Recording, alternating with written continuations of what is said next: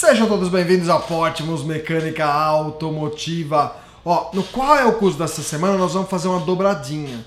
E essa dobradinha vai ser o seguinte: dois concorrentes diretos japoneses, quantidade de gente que pediu. Não dá para citar o nome de todas as pessoas, mas eu quero citar assim um grande abraço que foi o primeiro que pediu, que é o Nereu Barão II. Ó, nome chique, hein? Nereu, grande abraço e vamos ver se você gosta. Nessa quarta agora nós vamos falar então do Honda Civic 2.0 versão LXR, LX de luxo 2.0. Fica ligado nesse vídeo e a semana que vem eu já vou falar depois da vinheta.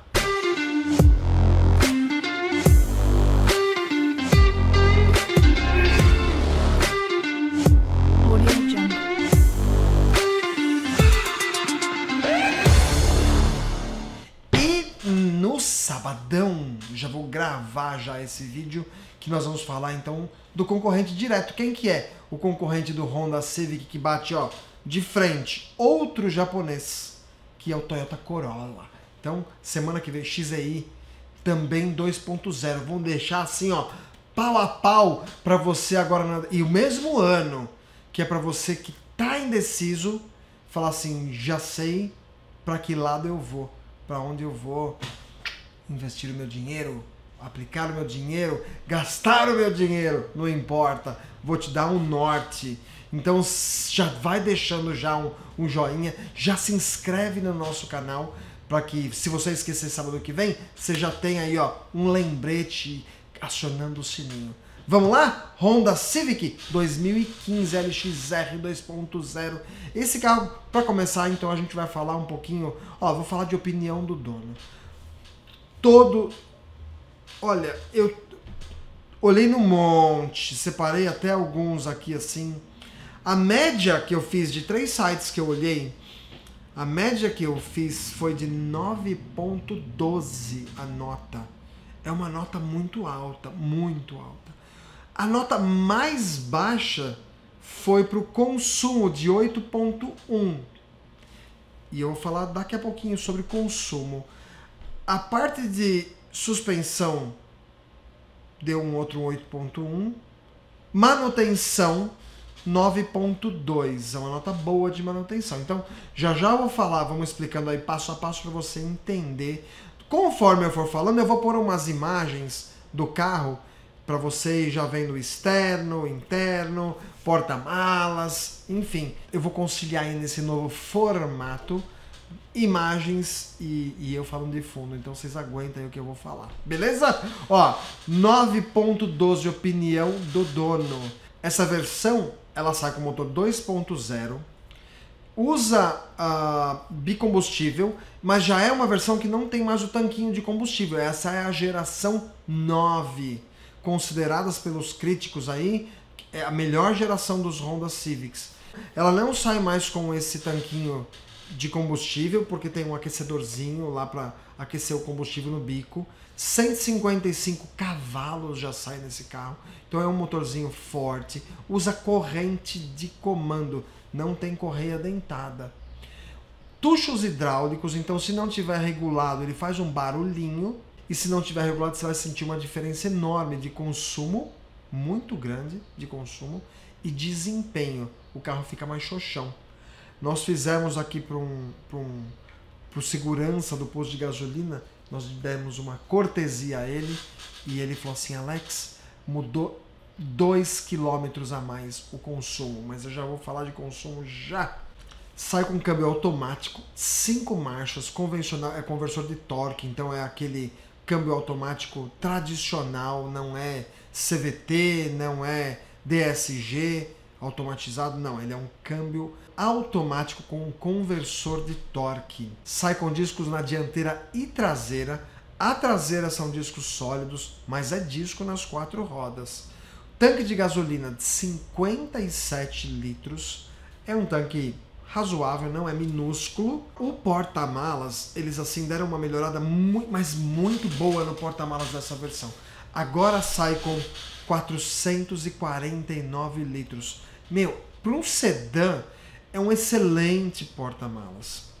Uma coisa que continua ruim. E, e, essa é uma coisa que se aplica assim a quase todos os sedãs que nós temos. É difícil que seja diferente. Normalmente carro americano gosta de mudar isso, que é o espaço para o quinto elemento. Ó, oh, ficou bom isso, né? O quinto elemento. O banco traseiro, eu vou colocar a foto aí. É, é um banco para quatro pessoas. De vez em quando você pode carregar um quinto. O banco traseiro, ele tem o quê? Ele encosto de banco que você deita e aí fica lá um lugar para você colocar copo, colocar alguma um lanchinho tal durante a viagem. É um carro projetado para quatro pessoas que o quinto elemento, vez em quando, pode rodar muito desconfortavelmente. Cadeirinha. Se você colocar duas cadeirinhas de bebê atrás, quinto elemento esquece, só se for uma criança porque não tem espaço para ela. Um adulto vai ficar ali muito apertado. Então é um carro para dois adultos e duas crianças, no caso de cadeirinha. Velocidade máxima 190 km por hora. Anda bem para um carrinho 2.0. Aceleração de 0 a 100 dizem que fica em 10.9 segundo o fabricante. Autonomia. No álcool, 365 km, ou seja, no álcool não roda nada. Você é, abasteceu, já tem que abastecer de novo.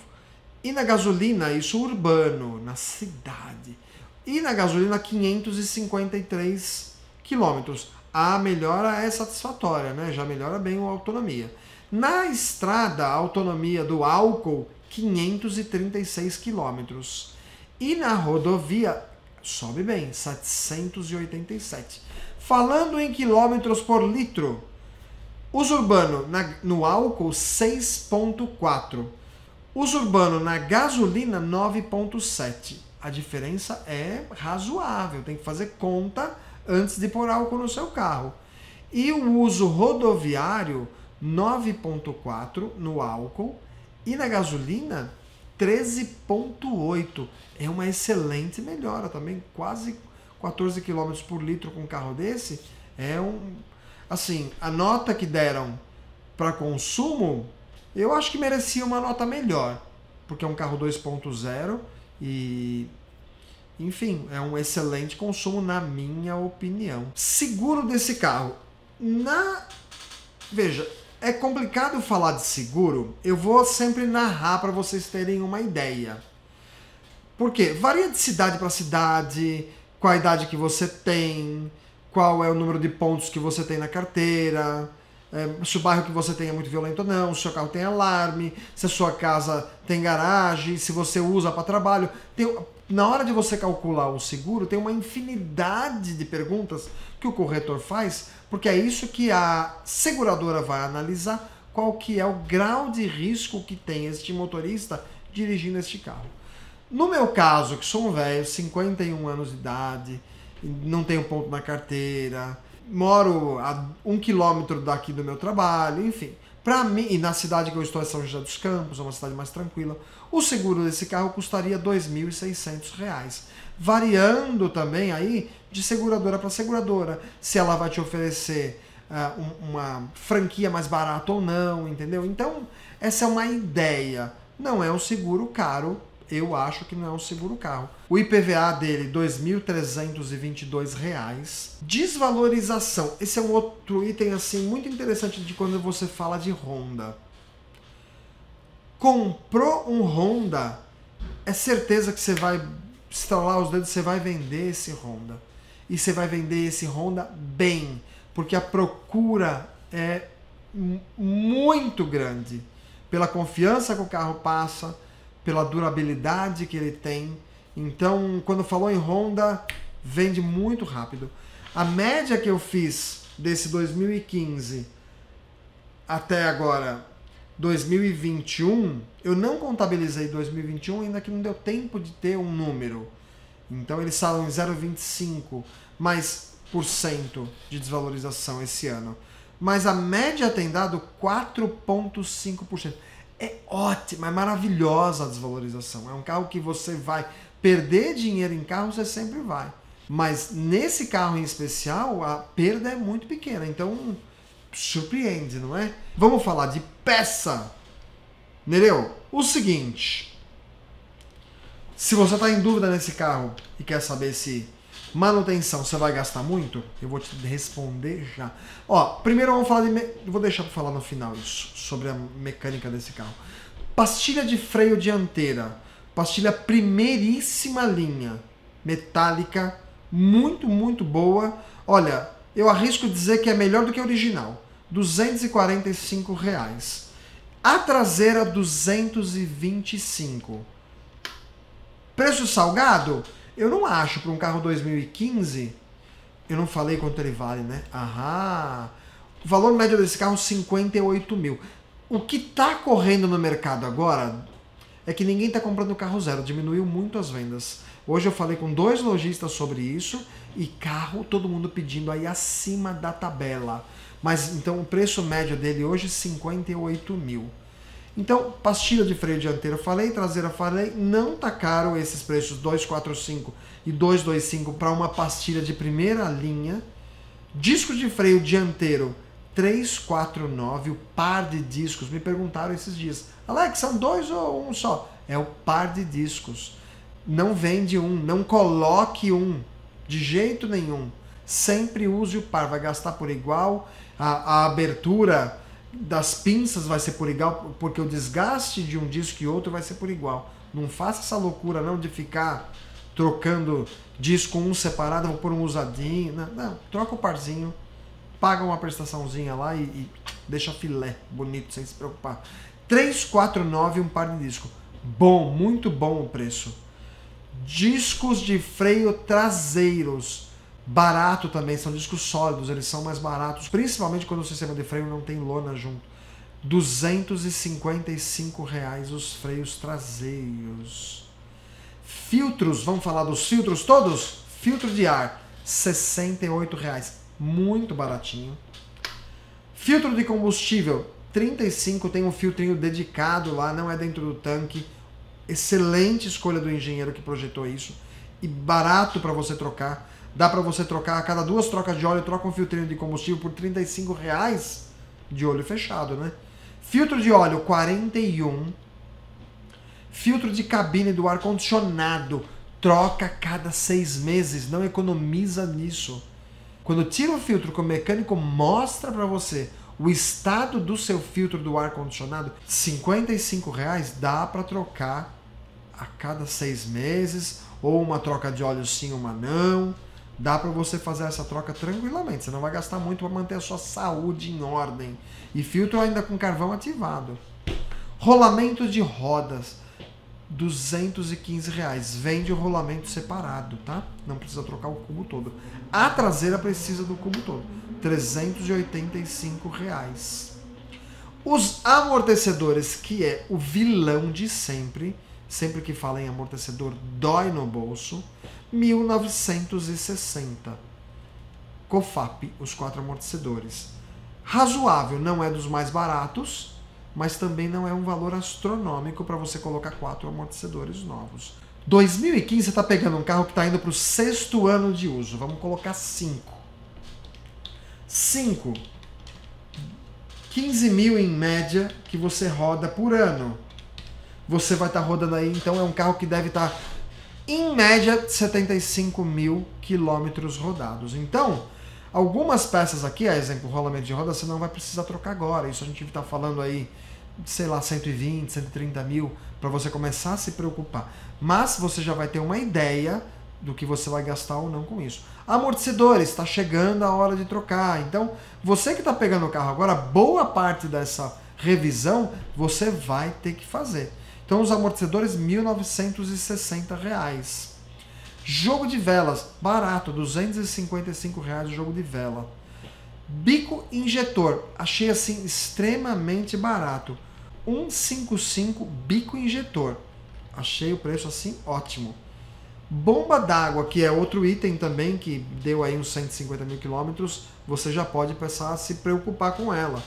278 reais, muito barato para uma bomba d'água. Você olha aí a linha Audi, mesmo dos mais populares, os valores são bem astronômicos.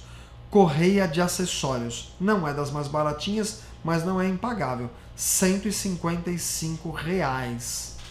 Bobina, 198 reais uma bobina. Correia dentada não tem. Corrente, esse carro usa corrente, mas não é uma coisa que você precisa se preocupar tão cedo. A manutenção desse carro não é manutenção difícil.